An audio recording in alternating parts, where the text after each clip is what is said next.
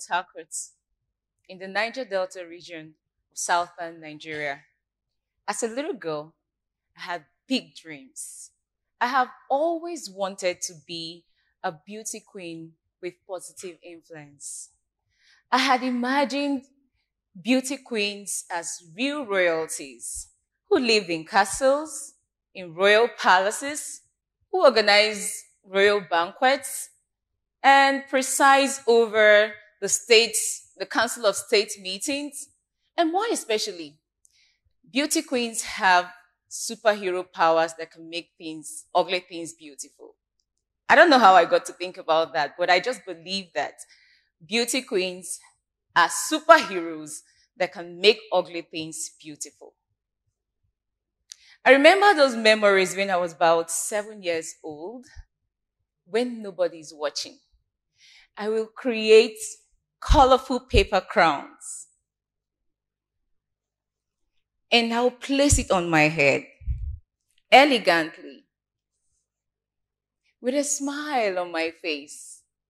And then I'll work confidently to my mirror. And I usually have paper, paper globes like this.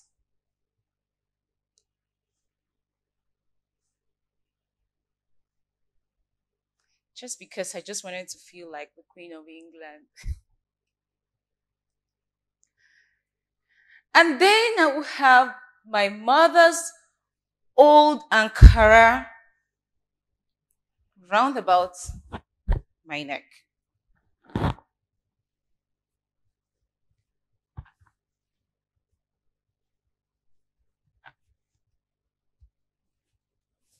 Because I wanted to feel like a superhero.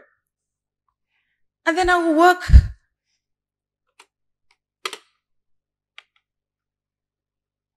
to my mirror, talking and acting that I'm speaking to a large network of people, just like I'm doing right now. Even if there was no sound in my voice, I don't even know what to say, but I just wanted to say something. But interestingly, I was born on World Peace Day. And I wanted to talk about peace. I love peace. I bring peace. I want to live in peace. And I come in peace. Even if there was no sound in my voice. But at the same time, I did not also want my mom to know that I have started dreaming again about building a career in beauty and pageantry. My mom felt like this is not a profession and you're just too skinny. Like, do you think you are the kind of people that they have there if you want to be a beauty queen? And then she said, I have, I had this bulgy eyeballs and that I may just never fit into a pageant queen. Children around my neighborhood actually bullied me. They called me tiny broomstick. Well, that actually made me feel so sad. But I never gave up on the vision and the transformation that I want to make in the pageant industry. But you see, there is this perception that people have about beauty queens and pageantry. Like it's not a profession, it's a hobby. It's something that you just do for a period of time and nobody gets to hear anything about you anymore. Some other people use it as a platform to venture into other things. But to me, it is totally different. Being a beauty queen is a call to specific responsibilities, management, and leadership. It's something that you do for life. It's a profession. It's something that you're passionate about and you must fulfill the mission. Just like we have other professions like becoming a doctor, becoming a lawyer. There is no ex-doctor or ex-lawyer. Once you are a beauty royalty, you are always a beauty royalty and you must fulfill the mission. So when I was old enough to take decisions on my own, I decided to search and research about pageant industries that are in line with my vision and my thoughts. But guess what? I could not find any.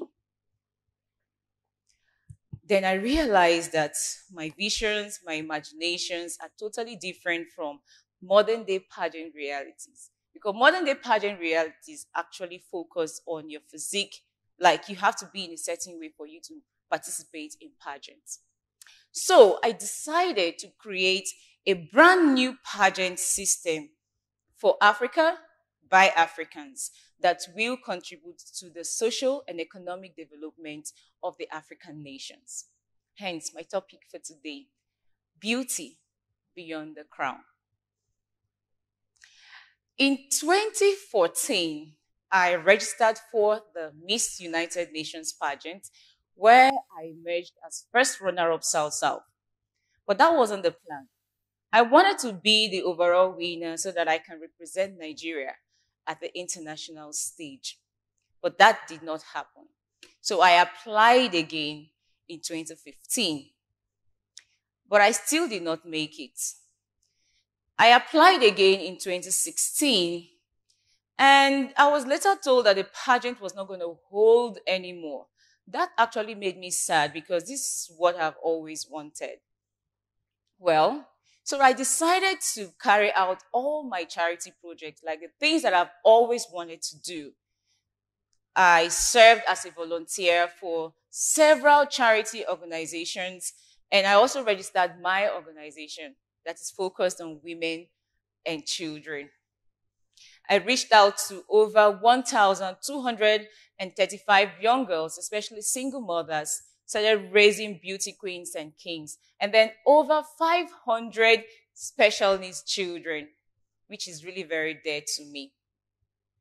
These achievements actually attracted the national director of the United Nations pageant here in Nigeria, and they called me up and said, Hadassah, can you represent us at the international level? Wow, like this is what I've always wanted but I got it without any competition. So that was how I became the Miss Nigeria United Nations. But it was on one condition. They said they were not going to sponsor me, so I was going to sponsor myself for the international trip. I said, well, yeah, this is what I've always wanted. Then I started working at it. And I applied again in 2016. Well, I did not make it. In 2017, I decided to work more on my charity projects. Then I applied again in 2017. I still failed. Then came 2018. When I was about applying, I told some of my friends and family around, and people were like, Hadassah, you've been on this journey for over four years. And why don't you just get a real job. Like you're beautiful, do something else with your life. Other beauty queens come, reign, and go, and you're still here carrying crown about. Like, what is it about this beauty pageant stuff? And I said, well, it, it was supposed to pull me down. Like, I really felt sad. But when I got home that day, I said to myself, I was going to get this crown. So I printed this crown because then I didn't have it. I printed it and placed it on my vision board. And I spoke to it every day. And I said I was going to, um, I was going to get this crown, not just getting the crown, because they had different, they had the yellow crown, the blue, the green, the black, and the gold crown. But I wanted this crown because of the different colors on it, because it represents the nations of the world. So I said I was going to get this crown not just getting it, but my voice will be heard. Then came in 2019. I did all the preparations and all that. Guess what? In 2019, I applied again and I won. I was super excited. The pageant started, the pageant actually started on the 1st of November, but I arrived in India on the fourth day of the event, which means I was the last person that got to camp. Interestingly, I was the only beauty queen that had full, big photo book of all my projects, meaning that all my failures put together was what gave me an edge over other beauty queens. And I had a video documentary about Nigeria, why you should visit Nigeria, the interesting things about Nigeria. And I have also a video documentary of all the charity projects that I've done. And then when it was time for presentation, I gave my best. At that point, I was already tired of all the process. I just wanted to participate. And I was surprised when my name was called Miss Nigeria United Nations as Miss World United Nations. I was super excited.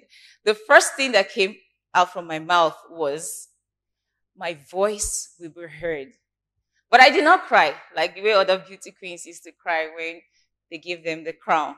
So that was how I became the first Black African woman to win the Miss World United Nations. Over 51 countries that participated from different continents of the world. This experience has given me more insight, and I'm ready to shine the light on others. The African Beauty Pageant is a competition, is a healthy competition that is focused on mentoring, building, and identifying the unique beauty, culture, diversity in each individual that empowers young women and girls with the right skills, knowledge, leadership for legendary service to humanity. Now, this is the African pageant system that we want, where we will not be judged by our skin color or our hair, our status, our age,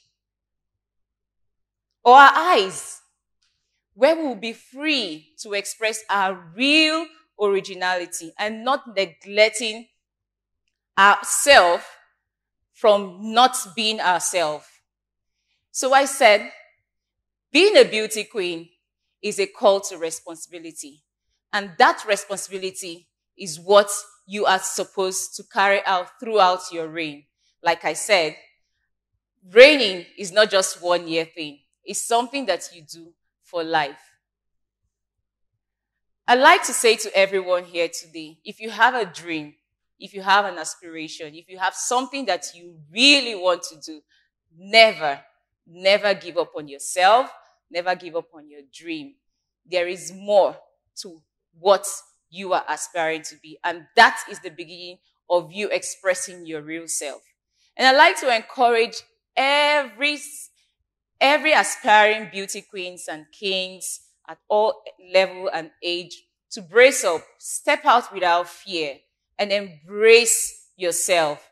Break the pageant stereotype and reign in dignity and respect for yourself, for your family, and for the African nations. May I humbly announce to you, instead of beauty queen, we say beauty royalty. Thank you.